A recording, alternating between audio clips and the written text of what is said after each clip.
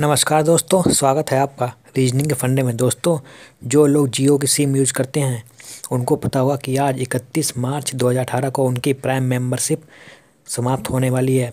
तो जियो ने कहा है कि आपको एक साल के लिए और यह निन्यानवे रुपये वाली प्राइम मेंबरशिप बिल्कुल फ्री दी जाएगी, लेकिन यह आपको ऐसे ही नहीं मिलेगी। इसके लिए आपको खुद एक्टिवेट करना होगा।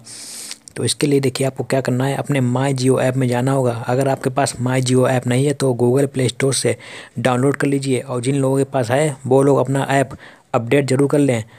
तो इसके लिए आप सबसे पहले माई जियो ऐप में जाएँगे।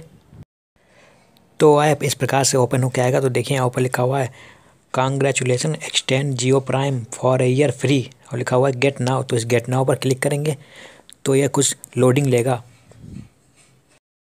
उसके बाद इस प्रकार का इंटरफेस आएगा। यहाँ पर देखिए, आपने अपने आधार कार्ड से जितने भी जियो के सिम ले रखे हैं वह सारे सिम यहाँ पर आ जाएँगे। और सारे नंबर होंगे। फिर देखिए, नीचे लिखा हुआ प्रोसीड तो आप इस प्रोसीड पर क्लिक करेंगे। तो जैसे ही आप प्रोसीड पर क्लिक करेंगे, आपकी प्राइम मेम्बरशिप एक साल के लिए एक्टिवेट हो जाएगी।